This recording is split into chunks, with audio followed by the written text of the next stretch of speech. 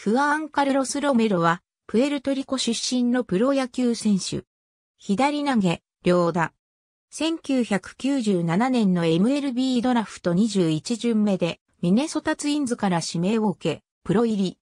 1999年に、同年のパンアメリカン競技大会の野球アメリカ合衆国代表に選出されている。9月15日にテキサスレンジャーズ戦でメジャーデビュー。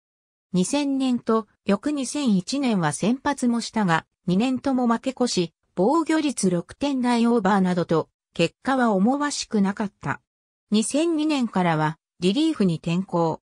アメリカンリーグ2位、ナショナルリーグを合わせても4位となる81試合に登板した。それでいて、防御率1.89の好成績。一躍9回トップレベルの投手となった。この年のオフ、日米野球の MLB 選抜で来日した。2003年はコントロールが定まらず、防御率は5.00まで跳ね上がった。それでも73試合登板はアメリカンリーグ6位の好記録。2004年6月12日にマイナー落ちの屈辱を味わうが、6月26日にメジャー復帰を果たすと、その後は2002年の再現のようなピッチングを見せ、マイナー落ちの時点で5.70だった防御率が9月22日の時点では2.69を記録した。あとわずかでシーズン終了という場面だったが、最後の最後で連打を浴び、防御率3.51でシーズンを終えた。74試合登板はリーグ7位の好成績。2005年はツインズで68試合に登板。2006年開幕前の3月に開催された第1回ワールドベースボールクラシックのプエルトリコ代表に選出された。シーズンではロサンゼルスエンゼルスオブアナハイムで65試合に登板。2007年はボストンレッドソックス6月22日からはフィラデルフィアフィリーズで合計74試合に登板し、防御率1.92の好成績を残した。支給がやや多く、2006年のように冴えない結果に終わることもあるが、それでも2002年からの2007年6年間で年平均72.5試合に投げている。2008年は自己最多タイの81試合に登板、自身初体験のワールドシリーズで2勝を挙げ、チームの世界一に貢献。しかし、薬物検査で陽性反応が出たため、翌年の開幕から50試合の出場停止処分が課され、年俸が125万ドル削減された。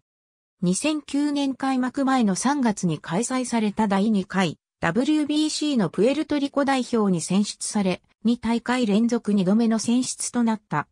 シーズンでは出場停止や怪我も故障に苦しみ、例年得意としていた左打者にも被打率308と打ち込まれた。2010年は吉球率7.12と請求難に苦しんだが、主に対左のワンポイントとして、対左を被打率214に抑え、60試合に登板した。2011年も24試合で吉球率6.61と請求難に陥り、6月24日に解雇される。2011年6月29日にワシントンナショナルズとマイナー契約を結んだが7月14日に再び解雇され、ニューヨークヤンキースとマイナー契約を結ぶ。8月9日に解雇され、13日にコロラドロッキーズと契約した。12月15日にセントルイスカージナルスとマイナー契約を結ぶ。2012年は開幕ロースター入りするが、11試合の登板で5月14日にカージナルスを解雇となり、23日にボルチモアオリオールズとマイナー契約。7月10日に解雇となり、21日にクリーブランドインディアンスとマイナー契約を結ぶ。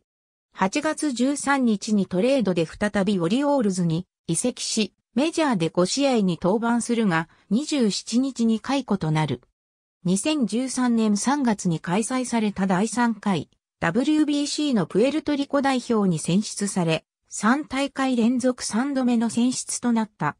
3月22日にワシントンナショナルズとマイナー契約を結んだ。6月1日に自由契約となり、7日にインディアンスとマイナー契約を結ぶ。2014年は所属球団がなく、2015年はメキシカンリーグのプエブラパロッツと契約。5試合に登板後、4月15日に出場登録を外れ、6月30日に独立リーグアトランティックリーグのロングアイランドダックスと契約。2017年2月8日に第4回 WBC のプエルトリコ代表に選出され、4大会連続4度目の選出となった。3月22日の決勝アメリカ合衆国戦に敗戦し、2大会連続で準優勝となった。オフにはドミニカ共和国のウィンターリーグに参加。ありがとうございます。